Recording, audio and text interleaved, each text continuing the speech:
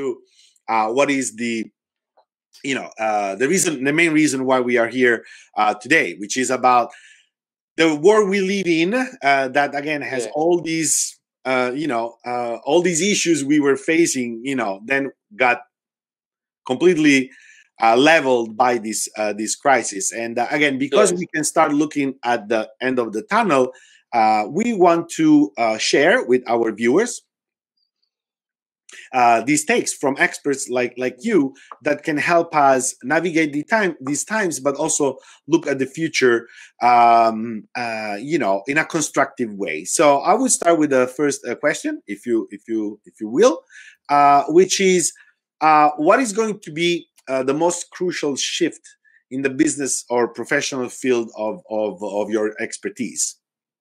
Well, this shift is is already occurring, and it's the way that we are getting information out there. It's the way that we're reporting on the royal family. It's also the way that the royal family is being seen by the public.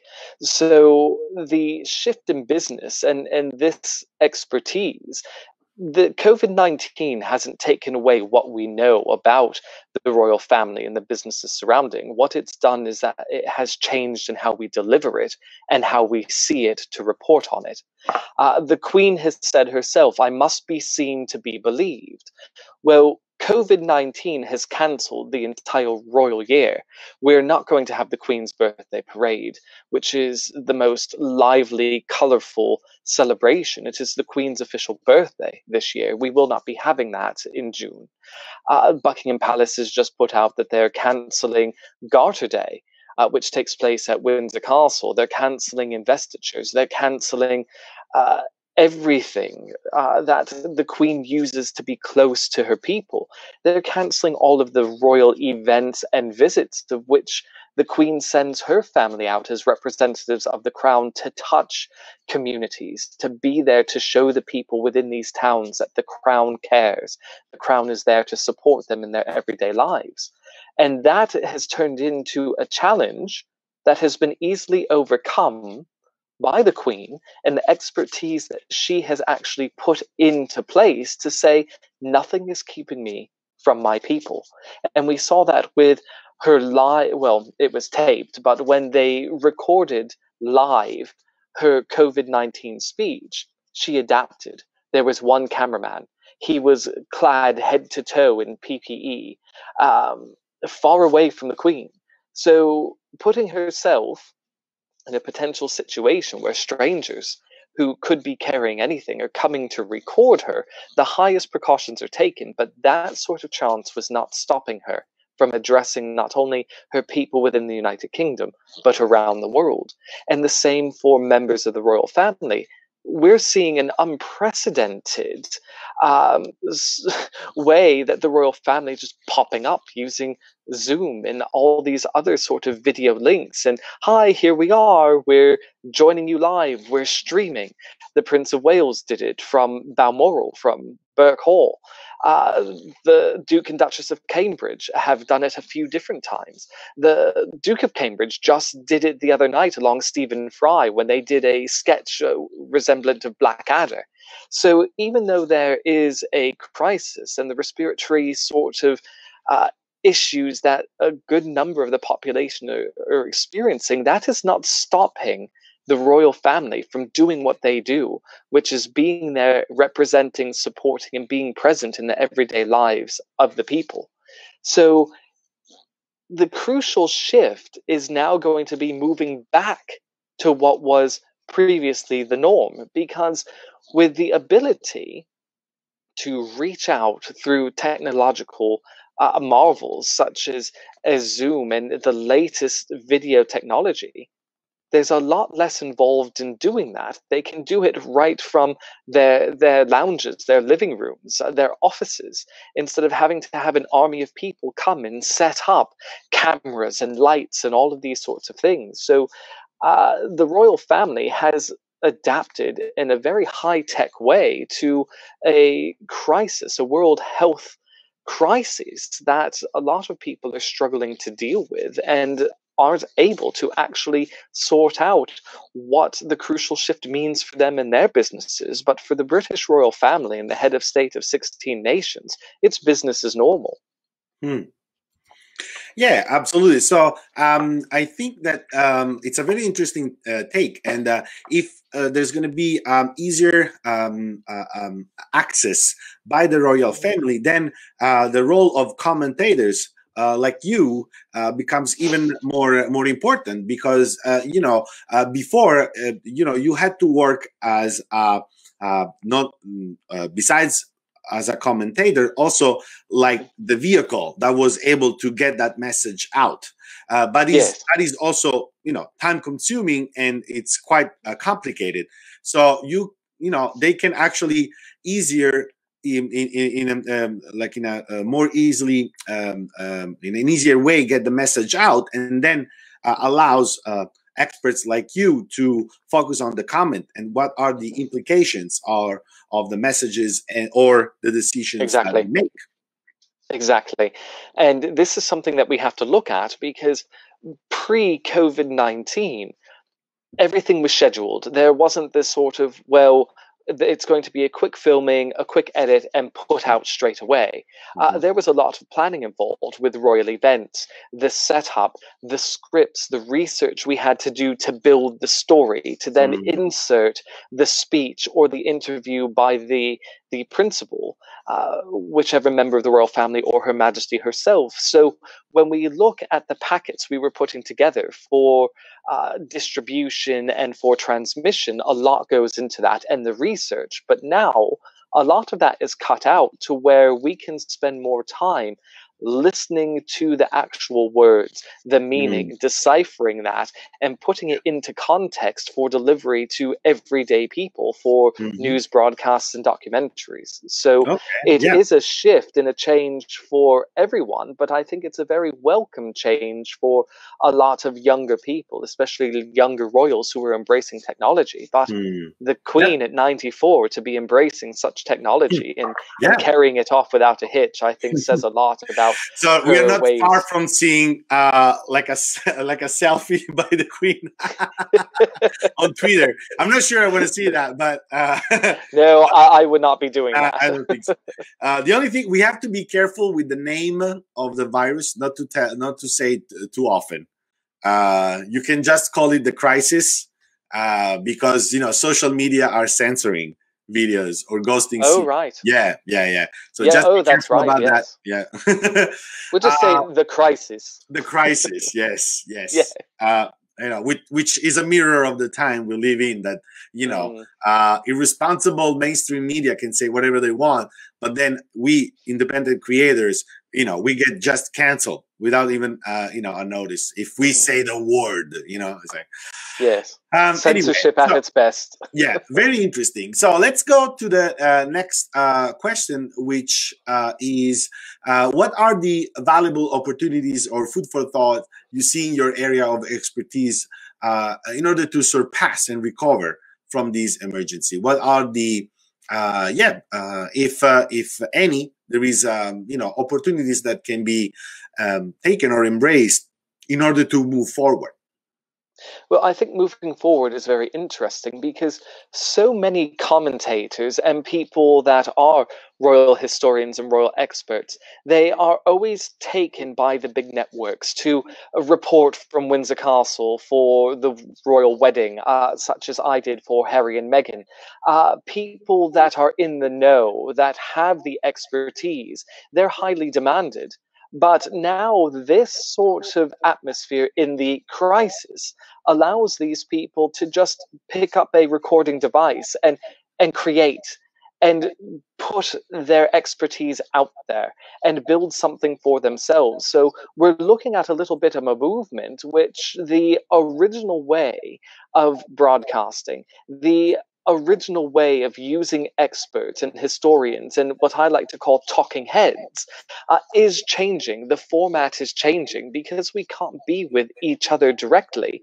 We have to do things remotely, which is allowing a greater way for people to go ahead and um, contact people through means that are um, literally away from each other, and that's something that um, is is very interesting because it's how we come back to each other that is something that is um, questionable at mm. this point. How do we go back to the old ways when the new ways are allowing more experience uh, for people like myself to go out there and play with my own ways of recording and transmitting and getting information out there?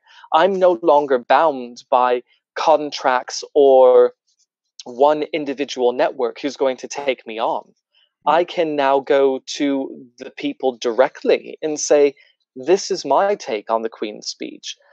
There's no reason I can't get the traction through social media that big networks are getting when they had me on. Mm-hmm. So uh, it's making us all more freelance now and giving us ideas as to how we can actually harness what we had before on our own, ta- own terms in our own way and do what needs to be done with cutting out networks. And those that support the uh, the process of putting out non-factual information and turning stories into their own narrative where it has manipulated the actual story and the meaning of what has gone out mm. so it's a way for people to act directly and interact truthfully with a base of people who want the truth based on the industry we're in, which is history, historical reporting, and accuracy where the royal family is concerned.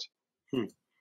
Yeah, absolutely. And uh, in uh, in um, uh, th- this is going to be for sure like um, um, uh, an exciting uh, time because uh, you pointed out that everybody's most of the people or uh, many you know many people are talking about how we go back to you know what was our normality but you're saying well we uh, are we have actually in few weeks uh, already uh, uh, enhanced a process that has uh, you know shown some better aspects of how we can do things and actually maximize our time and yes. I, and and that's why especially because unfortunately the, uh, the, the the mainstream media and the mainstream platforms like the one we are on or the other one that does videos because believe it or not dear audience if you say the names of your platforms they know that if you're talking about them it's not in a positive way right. so they censors the video and uh, you know uh, i made this point which you know once in a while i make some smart points and uh, in, in my video yesterday, which was if you want me to have, you know, because they are against, you know, uh, so-called misinformation, right? But um, and I've done journalism, so in journalism, they tell you you have to access the sources and compare the sources, right? So mm-hmm. since all these videos allow you to have suggested videos, right? So yes, why don't you, with your omnipotent algorithms, uh, structure it in a way that if I'm looking at something that is conservative, I have access to opposite, you know, to opinions that are on the opposite side of the political spectrum. Why don't mm-hmm. you let me access the sources? No, what you're telling me is I'm gonna cancel that source. So yes. you're doing the job yes. for me, allegedly, right? Mm-hmm. So you don't need to see this wait a minute right yeah that's why i think it's important yeah. like like a professional like you that already have uh, like a website like an independent website where people can go and ac- access content that they cannot even find on uh, the mainstream platforms uh, yes. and that is original unfiltered content and that's why i think it's going to be key in the future is unfiltered mm-hmm. Yes, so, because it's not allowing us to be manipulated. It exactly. is telling the story as the way it is and what is experienced. It's not giving over the information to some editors and some directors of big companies to say, no, that's not the narrative we want. So let's extract this bit, let's extract this clip and splice it together to mm-hmm. create a narrative that yeah. wasn't exactly as it was said or stated. So exactly. it allows for less muddling and a more direct source for us to tell the truth. And no, that's what I said, that's what I meant, and here it is, unabated and not at all manipulated. You're getting it from the source as the way it was meant. Yeah, that's why uh, people can, and again, they can uh, find all, all, the links then in the description of the video. But uh, again, they can go and check the monarchists.com uh, and uh, the British um, uh, Monarchy Society. yes. Right. And we're going to show the um, later the the website. But again, it is very important. Unfiltered news. That's I think it's it's yes. key. It's really key. So moving forward to the next question. Uh, what mistakes, and I guess we made many mistakes, but what mistakes should we not repeat at least, or issues we should, uh, you know, we should we shouldn't overlook like anymore, uh, it, according to you? In well, in my case, uh, and my expertise and what I do in my field is making sure that the story is right, that it is completely free of bias. Both sides are told. There's no personal agenda inserted. Case in point, I want to look at the Duke and Duchess of, of Sussex and how everyone is speculating Hmm. Some people don't know, but you get these talking heads that claim to know everything, and it's more their personal opinion than it is based off of truth and example. Yeah. So uh, we need to be careful in the line of royal reporting and in the field of historical expertise that we do get the stories right, that we remain free from personal bias and from a mainstream storyline that's going to generate more clicks and more visits to websites websites. Uh, that's the name of the game, and social media is is unfortunately a culprit of that. But it starts with us as royal reporters, as commentators, as historians, and, and experts on the field. Because if we are putting out information that is, of course, biased and has been treated in a way that manipulates the story, we're doing a complete disservice and uh, in justification of our own place in history as delivering these sorts of, of topics to the people. And that's not right. We're hurting ourselves and actually discrediting ourselves by putting out content that is not actually what it is and actually doesn't help to convey what the bottom line of the real story is. It's speculation, it's a lot of fabrication and replication, which is harmful and dangerous to all reporting outlets, no matter which field of expertise you are in. And that is something that we cannot overlook anymore. Those are mistakes that we've allowed to run rampant for years and years and go on unabated, which has damaged so many people and destroyed so many people. And we're accountable for that. And that's something that going forward, every network, every reporter, every commentator needs to be mindful of. Yep.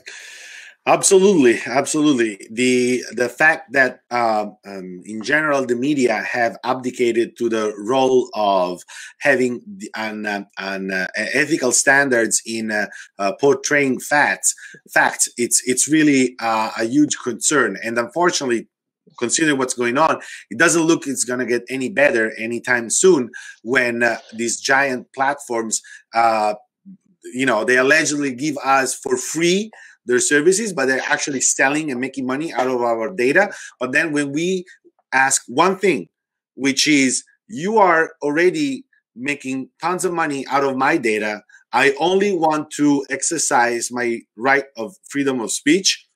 You are telling me no. Right. And shut up. exactly. up. no, well, so, shut up, or I'm gonna slap you in the face. It's not, you know, yes. it's, it's the three stages like no, shut up, I'm gonna slap you in the face. And she's like, excuse me, you are making money out of me. You're not giving me uh, anything for free.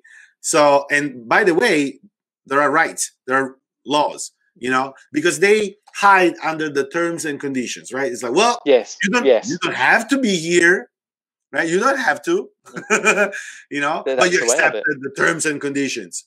You know, there was a, a South Park episode about this where Stan was basically, you know, in prison and and and and captivated because he accepted Apple terms and conditions, and then he basically sold his um, he he sold his soul to Apple. Mm-hmm. You know, so they could do yes. anything they want.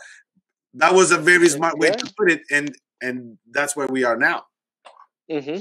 Well, and this is the thing, and if we look at curving what I had just stated for that last question, if we were to only put out the truth, imagine how many less stories royal in nature there would be. If hmm. we only put out the truth, we would only have a fraction of the stories out there now that actually come out every day. Hmm. The queen felt sad. How do you know? Did she tell you? No, she didn't. So these are the things. So uh, unless you sat with yeah. her over a cup of tea and she bore her soul to you, which I doubt highly is ever going to happen, you really don't know. So that's why I say we need we have a responsibility, uh, not just as uh, commentators, but as private individuals, to actually sit there and before we comment, say, is it factual? Yeah. Does it help? Is there any sort of untruth to it? And if I report or say it like this, is there damage that could be caused from it? So yeah. we actually have a duty of care to mm. those that are listening to us to make sure that we are ethical in every aspect of what we are saying. And mm. that's why I, I just make the point that if we only put out true stories, there wouldn't even be a fraction of the stories out there about the queen yep. and her family that are there today. Exactly. yep. Absolutely. So let's see what's happening. But you know, we have some announcement to make at the end that may, you know, go hopefully in the right direction.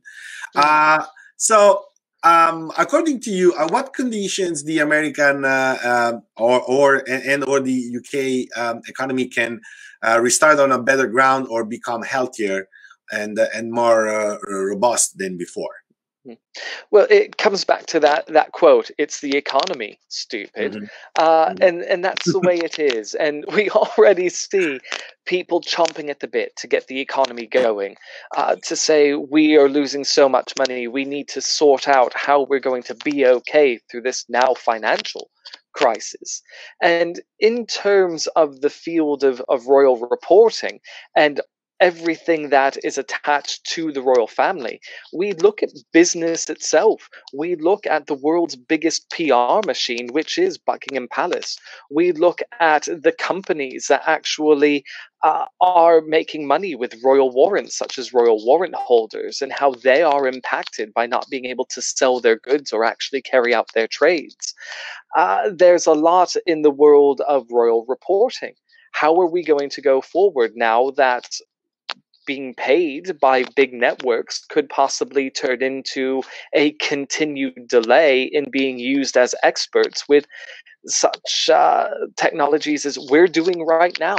Uh, and that's something that we have to look at is when does what I say as an expert translate into money for me if I'm not using a platform such as BBC or ITV or documentary makers?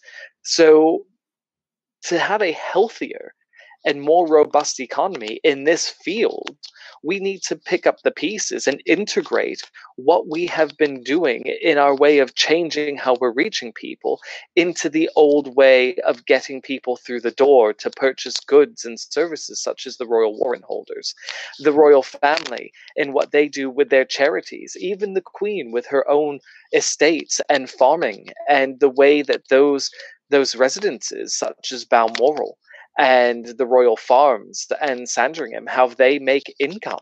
Uh, the Royal Collection is going to suffer this year because the state opening looks like it might not be going ahead for the summer visit to Buckingham Palace and Windsor Castle is closed. So that's money that is not coming in to go to the Royal Trust. So we have to look at ways that we can start fresh and say, right, if people want to visit the palaces now, why are we not saying, right, let's do a virtual tour where you would pay so much money through either Venmo or PayPal or bank transfer and let people enjoy what's there. It's not the same as seeing it directly in a tangible way where you're standing in front of a canaletto in the long gallery. Uh, that's a very different experience, but we can still offer these experiences uh, to help generate money for the Royal Collection mm-hmm. with a discounted price in a virtual tour, these sorts of things. And that's something that, uh, as the palace limits people visiting physically uh, to literally two months a year, it might be a way to have a steady stream of income throughout the entire year with allowing people this virtual platform to tour the palace and Windsor Castle and things like that. So there's ways that we can take problem solving through the crisis and integrate it into the ways that we knew before to actually create a new platform to make a robust economy in my field straight out of the gate when things are supposed to return to normal. Mm-hmm. yeah, uh, uh, definitely.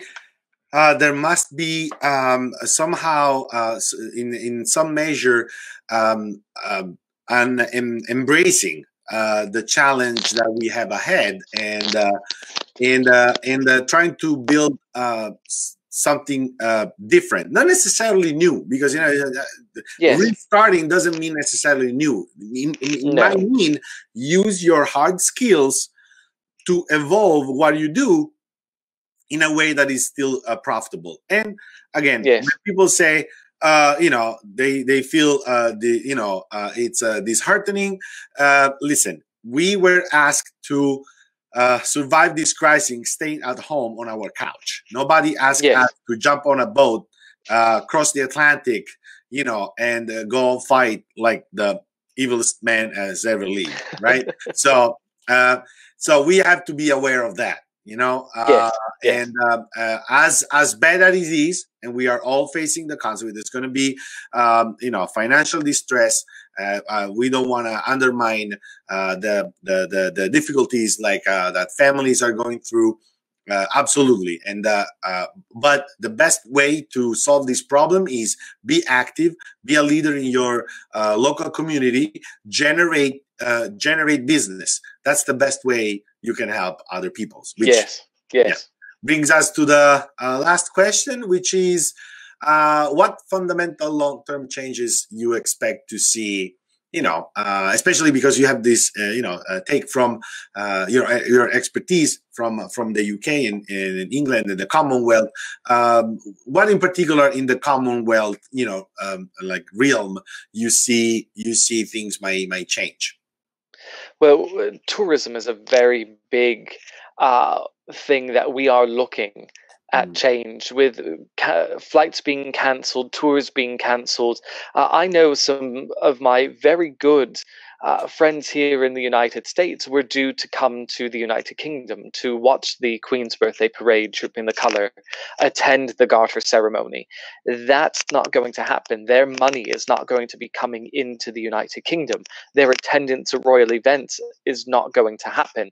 So we look at these changes and say, are we to expect going forward that we are to return to normal, where people can just forget about the crisis and say, I'm flying all over, I'm coming here, I'm going there, I'm spending all this money. It's not going to be that way. Things will start to open little by little. But unfortunately, for the royal world, a lot of these events are not uh, small, intimate sorts of gatherings, like little tea parties and that sort of thing. We're talking national events such as the Queen's Birthday Parade, which sees uh, thousands of soldiers on parade, the royal family in full on the balcony, and hundreds of thousands of people lining the mall coming together to watch this. Uh, that's not the sort of event that we want to see go ahead, especially at this time, because if we're trying to flatten a curve and stop a recurrence for the autumn, we need to take the measures now that um, are going to inhibit that sort of spread of, of what's happening. Yeah. So fundamental long-term changes are going to have to be planned for.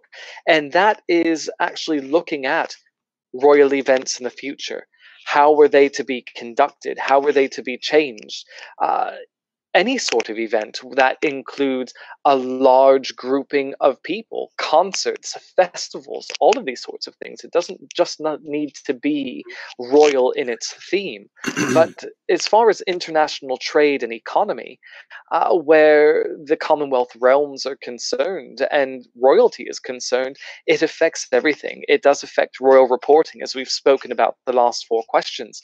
It involves the actual traveling of people who are reporting, uh, the transport of goods from royal warrant holders, the sourcing of goods and trade from tradesmen that are royal warrant holders, even those that serve the Queen in their capacity as staff as as servants, as horse groomers, and all of these people. We're talking about tens of thousands of people that are related to a nucleus of workers at the royal palaces and support networks that are going to be affected for a long time to come. So long term changes are going to have to happen across a broad spectrum of, of areas within international trade and the economy itself.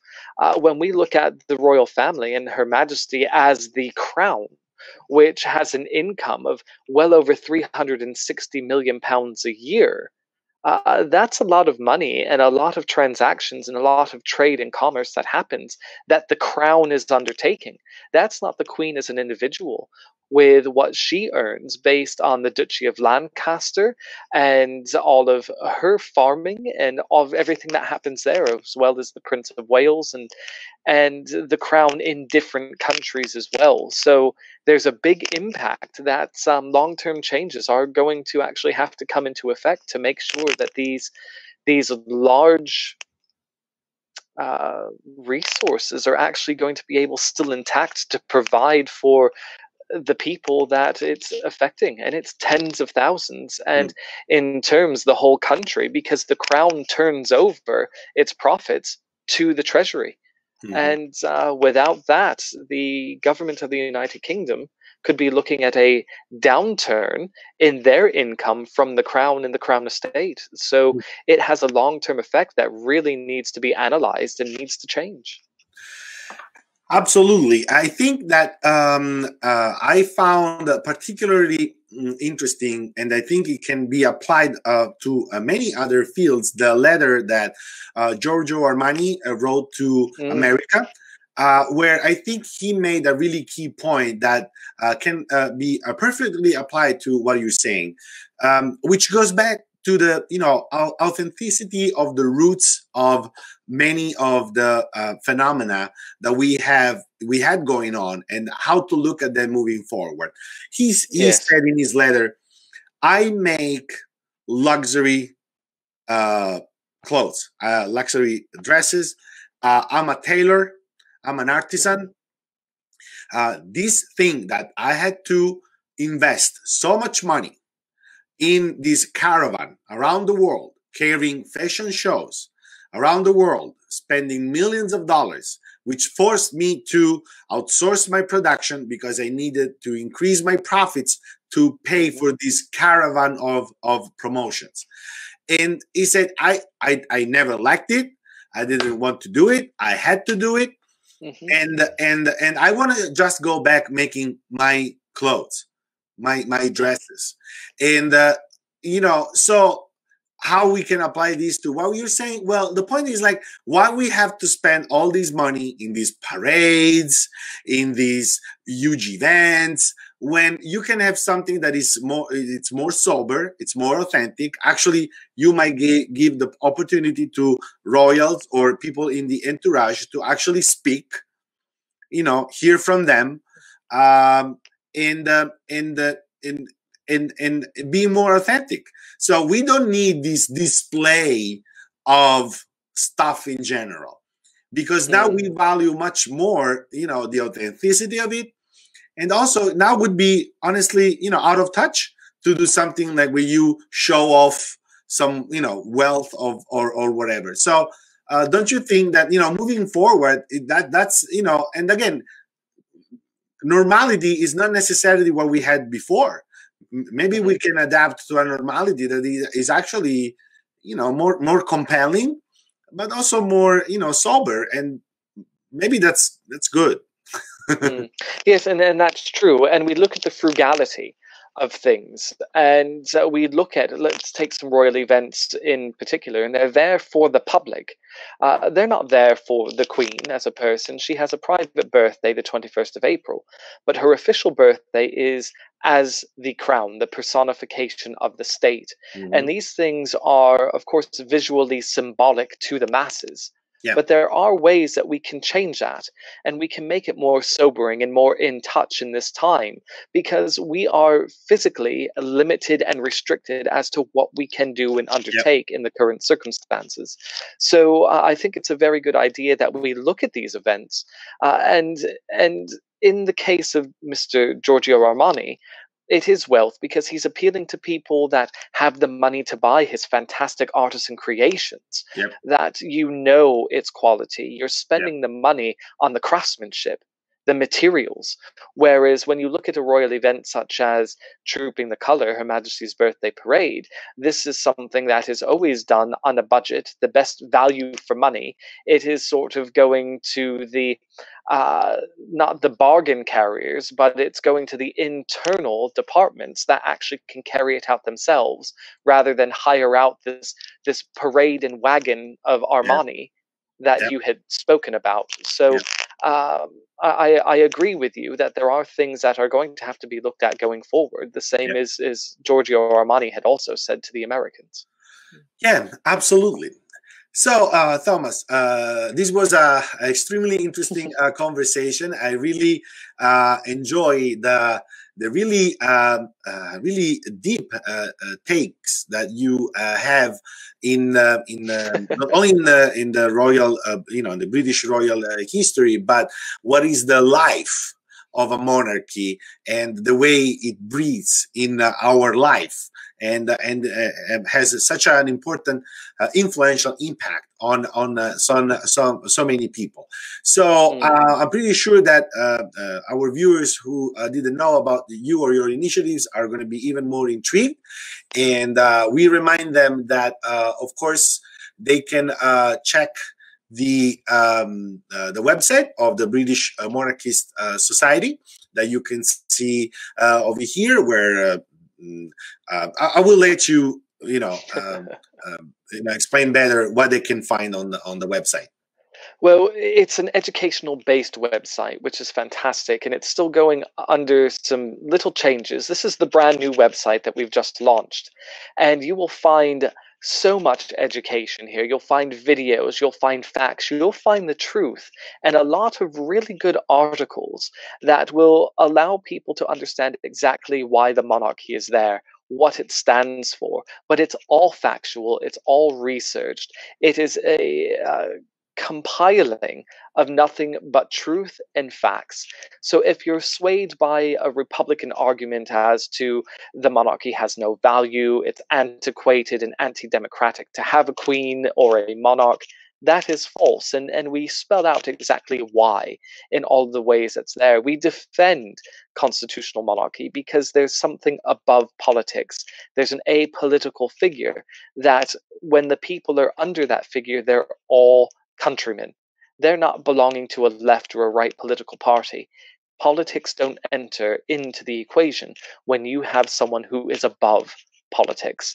So you'll find blogs about um, the latest information and uh, sorts of themes out there where royal uh, points of interest are mm-hmm. concerned. Mm-hmm. You'll see all of our media appearances, our campaigns that we're doing for the lead up to Platinum Jubilee 2022.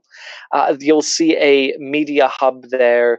You'll see a student hub where there's uh, lots of answers for students that oftentimes do a paper or a sort of research for uh, a debate that they can get answers to the questions that most frequently we find students asking. Uh, there's just so much there. Uh, it, it's a wealth of information that I think rivals that of of the Queen herself in regards to her own website. It's easily found. Uh, there's so much there. So hmm. whatever people need, it is in fact a virtual textbook yep. of monarchy A through Z. Yep. Perfect. So uh, people can uh, can check the the monarchist.com or can uh, get to know you a little bit better on your uh, personal uh, website. They, they see oh, yeah. Uh, over here. And last but not least, we have an announcement to to make, and it is about dear Thomas, the Crown and Country Radio. Yes, Crown and Country Radio. That is something that we are very excited and proud of. We are going to be launching the standalone website, crownandcountryradio.com, in the next couple uh, weeks. And we are going to have fantastic shows. And we actually have somebody who is with us who is going to be the host of a few shows, Mr. Joseph. And uh, yes, that's me. I'm yes, so Magazine. And, and extremely uh, it, thankful uh, it's going to be a great collaboration because with what you do with Styling Magazine and the luxury brands, but also you as an individual, seeing when things aren't right and how things need to be fair and balanced. And when you look at one of your shows, and I'm going to name it, which is Rebuild the West, is is a fantastic yeah. insight as to what the West needs to do to remain competitive and build itself to be strong as it has uh, in legend and myth always been. But your other show is fantastic as well, and uh, I'd like you to tell people about that show. Yeah, well, uh, thank you, and again, thank you for this amazing opportunity, uh, Thomas. Uh, as you said, rebuild the West is going to be uh, uh, more focused on uh, the the values and and the principles and the stories that have brought us together as a West, being a beacon of civilization for thousands of years. And uh, on a lighter uh, uh note, we're going to have a living style, which uh, is going to uh, have as a main source our magazine, Livein, where that we like to call the Encyclopedia of Lifestyle, where we have timeless topics about how to enjoy life. And we are proud that we have always focused on excellence, not necessarily luxury. Uh, luxury is uh, is is temporary. Uh, excellence instead instead is is is a is a hallmark uh, in, uh, in in in quality and and values. As we know, is the uh, the the crown of, of of England, where it's it's about being trying trying to be the finest version of of yourself and and prove yourself yes. uh, in uh, in in what you do. So it's going to be exciting uh, for sure. I can wait uh, to uh, start uh, working on this project. And uh, what uh, can I tell uh, about you, uh, uh, uh, Thomas? it's it's fantastic to hear from you these precious intakes in these very challenging time times. So hopefully, um, people can um, you know take some important information about what we have shared today to look at the future a little bit you know in a brighter way uh, understanding that it, it, it's not easy, but hopefully, you know, we have done our part in uh, uh, sharing some some thoughts and uh, inspiring people in, uh, um, you know, uh, getting over this and being constructive and positive. Yes, yes, I hope so because that's what we need to be. We need to be positive. We need to stay constructive. And in this time of, like I, I've said, physical distancing, it doesn't mean we need to be antisocial and remove ourselves from our support networks. And I think our physical well being and our mental health is what really needs to persevere at this time. Absolutely. Okay, then. Uh, thanks again, uh, Thomas. Thank and, you. Uh, uh hopefully, uh, you know, um, uh, you will be able to come back to our show very soon. I hope so. Thanks for having me. Thank you Thank very you. much.